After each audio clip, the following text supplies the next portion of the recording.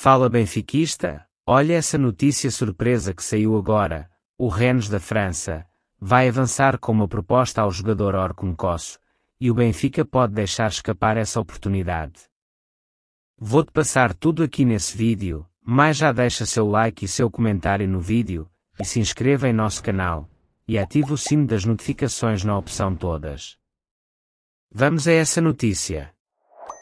Atenção, Benfica, Rennes vai avançar por Kosso, capitão do Feyenoord, internacional turco desperta cada vez mais cobiça. Os dias passam e o número de clubes interessados Orkun Kosso continua a crescer. O capitão do Feyenoord é um dos alvos do Benfica para a nova temporada, mas esta terça-feira surge a informação, em França, de que o Rennes também prepara uma oferta pelo jogador, adianta o portal Fotomercato. A mesma publicação recorda, também, que a eventual contratação de Kos custaria muitos milhões de euros, uma vez que o Feyenoord não está disposto a facilitar na hora de negociar.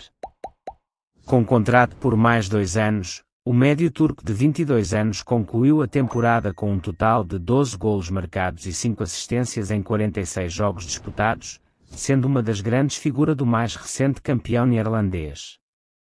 Coloque nos comentários a sua opinião, e fique atento, pois a qualquer momento, te informo sobre as últimas notícias do Benfica. Te vejo nos próximos vídeos, até mais.